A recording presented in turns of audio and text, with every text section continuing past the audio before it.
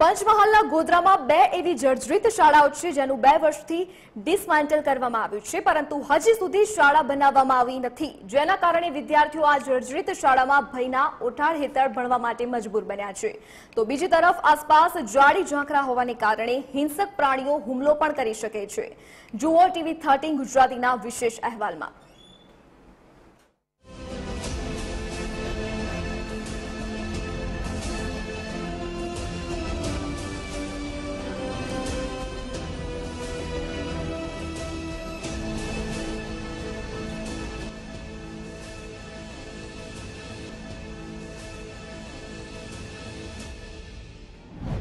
થોડા સમય પહેલા ગુજરાત સરકાર દ્વારા શાળા પ્રવેશ ઉત્સવનો કાર્યક્રમ યોજાયો હતો. પરંતુ લાગે છે કે સરકાર પંચમહાલની મોરવા હડપ તાલુકાની મોજેલી મુખ્ય પ્રાથમિક શાળા અને ગોધરા તાલુકાની વાવડી પ્રાથમિક શાળા ભૂલી ગઈ છે. મોજરી મુખ્ય પ્રાથમિક શાળામાં બસો પચાસ વિદ્યાર્થીઓ અભ્યાસ કરે છે. પરંતુ આ શાળા જર્જરિત હાલતમાં હોવાથી દોઢ વર્ષ પહેલા ડિસમેન્ટલની જાહેરાત કરવામાં આવી હતી. પરંતુ હજી સુધી તેને કોઈ કામગીરી શરૂ કરવામાં આવી નથી.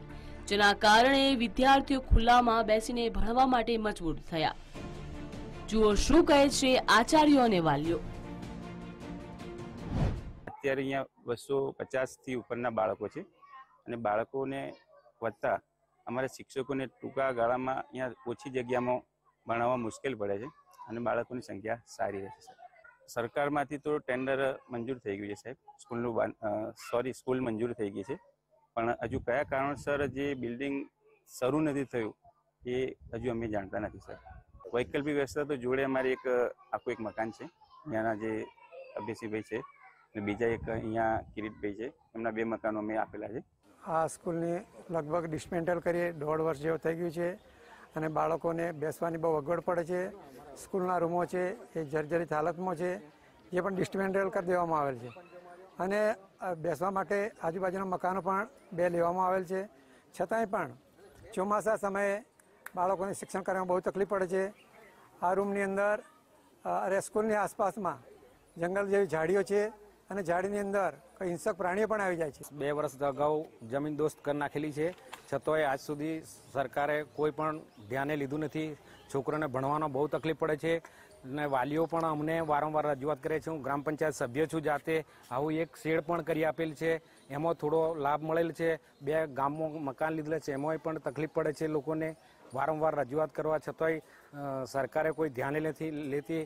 અમે મોરવા બે ત્રણ વખત બેનને મિનિસ્ટર બેનને બી રજૂઆત કરી. છતાંય કોઈ યોગ્ય અમારા સ્કૂલ માટે કોઈ કાર્યવાહી થતી નથી.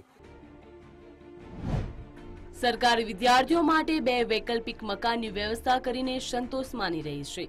પરંતુ આસપાસ ઝાડી ઝાંકરાનું સામ્રાજ્ય હોવાથી વિદ્યાર્થીઓને સતત હિંસક પ્રાણી અને ઝેરી જાનવર કરડવાનો ભય લાગતો હોય છે.